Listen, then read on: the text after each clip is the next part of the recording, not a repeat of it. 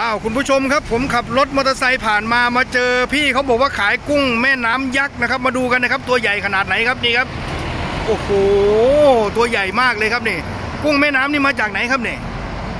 โดครับมาจากอินโดนีเซียเหรอครับ ต่างประเทศเลยเหรอครับ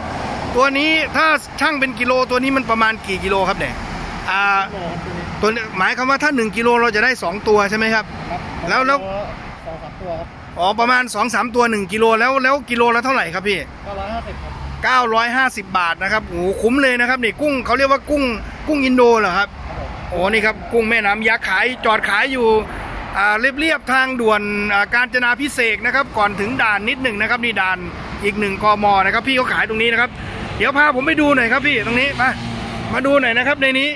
ว่ามียังไงบ้างขอดูหน่อยนะครับพี่อ่ามาดูเลยครับคุณผู้ชมครับ อ่านี่ครับพี่เขาบอกว่ากุ้งแม่น้ำอินโดนะครับ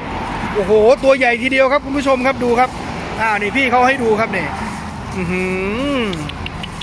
เอาไปทำอะไรถึงจะอร่อยพี่ใหญ่ๆแบบนี้นึ่งอบย่างนึ่งอบย่างนะครับ เอาไปนึ่งก็ได้อบก็ได้ย่างก็ได้นะครับปิ้งก็ได้ได้อ่าปิ้งก็ได้หมดโอ้โหนี่ มาจากมาจากอินโดเลยเหรอพี่ อันนี้